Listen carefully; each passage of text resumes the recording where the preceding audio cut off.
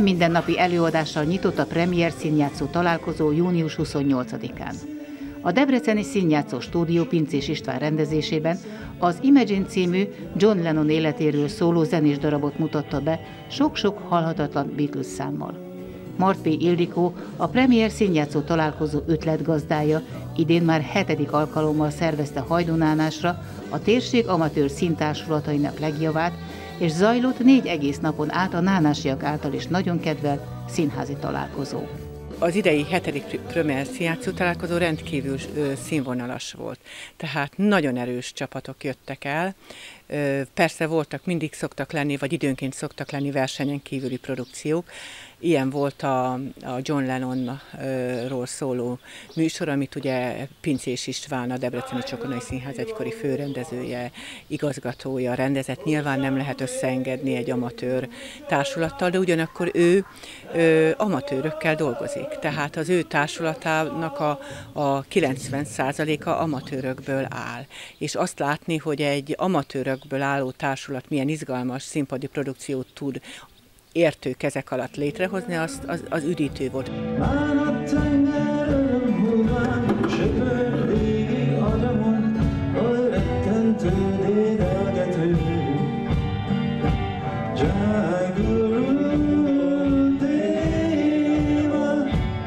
Változatos műfajokkal érkeztek a színtársulatok, volt akik már sokadjára, mint például a Kuckó művésztanya, akik ezúttal a városi gyógyfürdőben álltak, nem éppen a világot jelentő deszkákra, hanem úgy körülbelül a medencék szélére.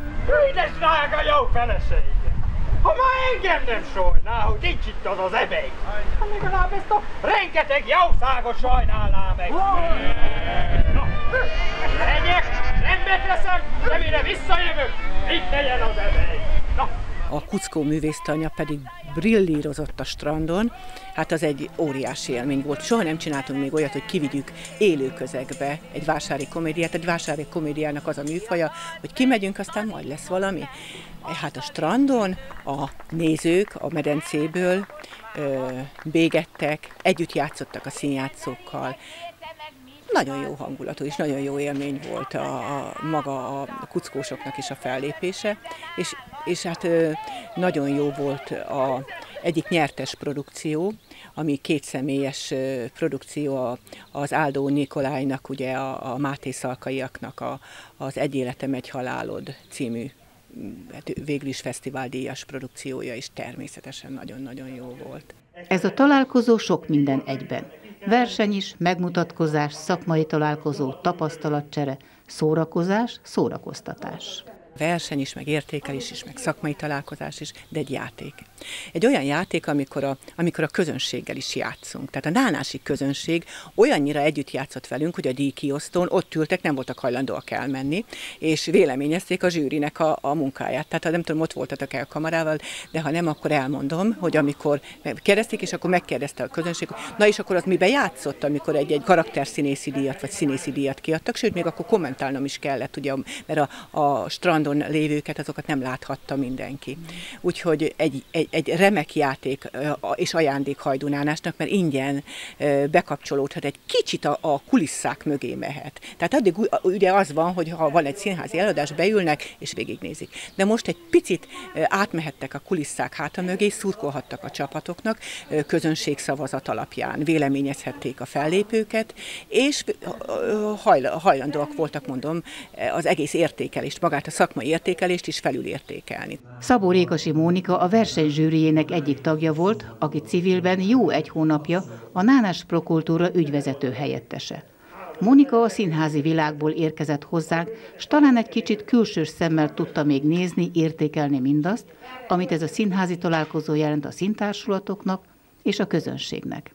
A hajdunánásiak valóban nagyon színház szerető, színház értő közönség, erről most én is megbizonyosodhattam, és a professzionális színjátszás igazából csupán annyiban különbözik, hogy ők pénzt kapnak érte. Tehát éppen ezt fogalmaztuk meg a zsűri társaimmal is, hogy a színvonal fantasztikusan alakult, és én úgy gondolom, hogy, hogy méltó előadásokat hívtunk le, illetve méltó volt az egész hangulatához, a, annak a struktúrájába, abba a struktúrába beillett, illett, amit mi megálmodtunk, amit Mart Példikó megálmodott már ez talán jó tíz, több mint tíz évvel ezelőtt. Az azért érdekes történet, hogy egy ilyen színházi találkozó gyökeret tudott ereszteni Hajdunánáson, és az amatőr társulatok nagyon szívesen jönnek hozzánk.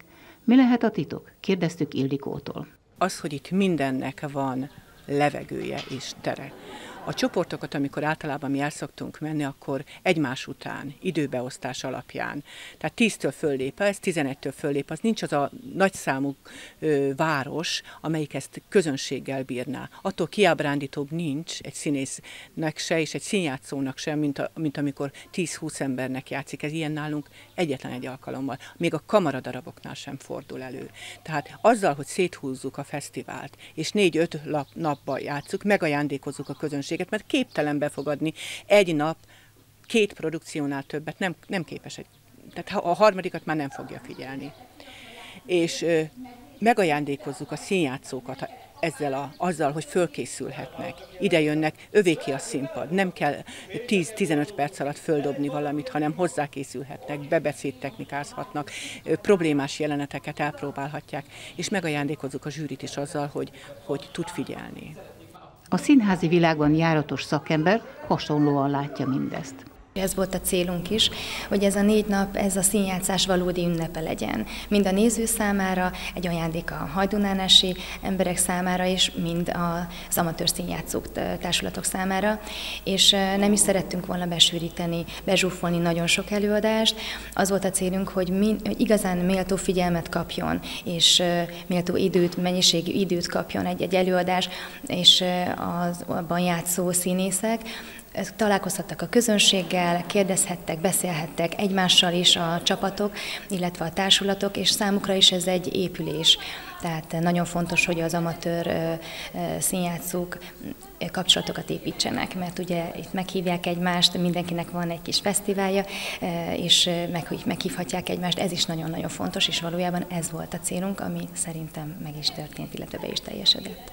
A találkozó egyik nagy hozadéka, hogy az amatőr színházi világ résztvevőinek biztosít megmutatkozási, kapcsolatépítési lehetőségeket, szakmai tapasztalatokat.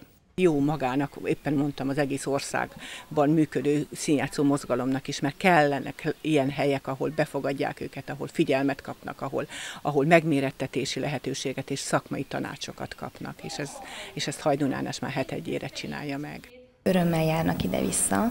Azért is, mert nívója van ennek a fesztiválnak, és meg kell említenem, hogy itt Hajdubihar megyében ez az egyetlen színjátszó találkozó, felnőtt amatőr színjátszó találkozó, és ők tudják azt nagyon jól, hogy a közönség is hálás, a zsűri sem szőrösszívő, és, és valóban jó tanácsokkal látja el őket, és szerintem a hangulatán is érzik azt, hogy jó ide visszajönni, és valóban vannak visszatérő vendégek, illetve társulatok. Sokan hiányolták a találkozóról a Naná Színházat.